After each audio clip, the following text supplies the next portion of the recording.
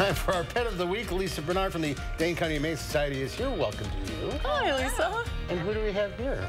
I have Jimmy Bob, and he will keep you warm with all of his snuggles and love. He's So- he's rambunctious, but he's a puppy. He's two months, so he still has lots to learn. Doesn't know sight yet.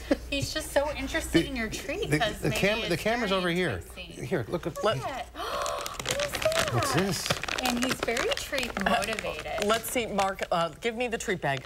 Lisa's microphone is not on. Can we see if we can turn her? Hi, yeah, yeah, you come visit me with the treats. Yeah, Oh, sorry about that. It's on right top. on top there. There we go. There we go. Now Okay, we now now you. tell us about this guy. So this is Jimmy Bob. He is two months old. He came from, uh, he was on a transfer from another sh- local shelter. So, um, So you think a to us. Jeopard, uh, sh- shepherd? Shepherd Hound mix. So he's Can got, I give him another one? oh, you can spoil Oh, him. it's the last No, I got- I one. got You got one. one? Okay, good, okay, good. Love.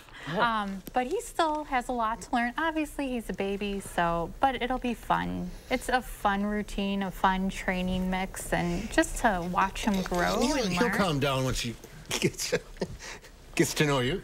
Yes, well, and he, this What's is that? a lot of What's puppy that? excitement, and as you can tell, he loves to give kisses, especially when your fingers are scented with treats. Mm-hmm. Uh, but even on the drive here, I had him in a crate, and I had a finger in the crate, and he was, I could feel him move, go like, oh, scratch here, scratch here. Aw. So it was just very cute. You dropped He's half of it. sweet. He's got such a cute face and long legs, so he will, pro- will, he, will he be pretty big, do you think? I'm guessing yes, he does have some pretty big paws here, so Okay. uh, Probably 50, 60 pounds. maybe even a little more. So, yeah. Kisses. So many kisses. All right. And he's got uh, four other siblings who are also, I'm sorry, three other siblings. He's the fourth one.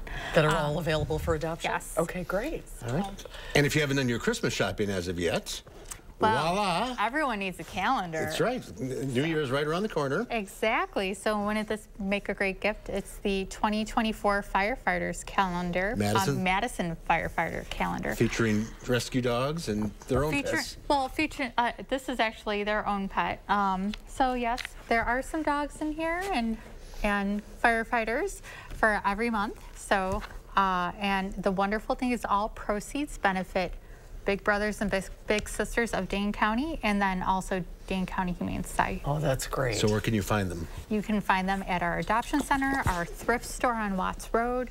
You can order them online at madisonfirecalendar.com. Uh, and then Mounds Pet Food Warehouse also sells them. And how much are they? $25 plus tax.